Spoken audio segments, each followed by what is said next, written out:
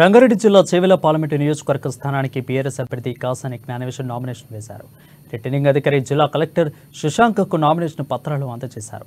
ఈ కార్యక్రమంలో ఎమ్మెల్యే కేటీఆర్ ప్రకాష్ గౌడ్ సబితేంద్రారెడ్డి మాజీ శాసనమండలి చైర్మన్ స్వామి గౌడ్ ఖాళీ యాదయ్య పాల్గొన్నారు. భారీగా ర్యాలీగా వచ్చి నామినేషన్ దాఖలు చేశారు.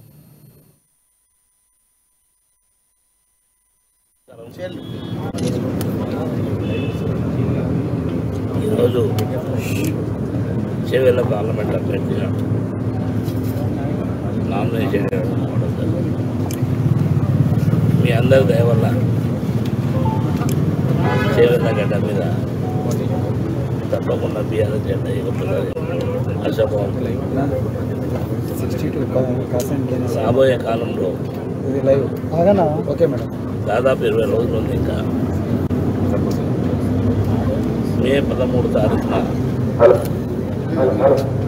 వాటర్ మహాశైలకు అందరికీ విజ్ఞప్తి తప్పకుండా బీఆర్ఎస్ సార్ కొంచెం గట్టి మాట బీఆర్ఎస్ పార్టీని గెలిపేయడానికి కారు గుర్తుపై ఓటేసి మనం కోరుతున్నాం ఇకపోతే చేవెళ్ళ ప్రాంతంలో ముగ్గురు అభ్యర్థులు ప్రధానంగా మూడు పార్టీలు చేస్తున్నారు కొండ విశ్వేశ్వరరెడ్డి గారు రంజిత్ రెడ్డి కానీ అదేవిధంగా కాసాని బీఆర్ఎస్ షాయ్ ముగ్గురం మూడు అదే ప్రాంతం నుండి కూలర్ బంద్ సేవ చేసినటువంటి వాళ్ళు ఉమ్మడి రంగారెడ్డి జిల్లా లోపల టూ థౌజండ్ నుంచి జిల్లా పరిషత్ చైర్మన్గా నేను అక్కడ చేయడం జరిగింది. రంజిత్ రెడ్డి గారి కాంగ్రెస్ నుండి అదేవిధంగా కొండ విశ్వేశ్వరరెడ్డి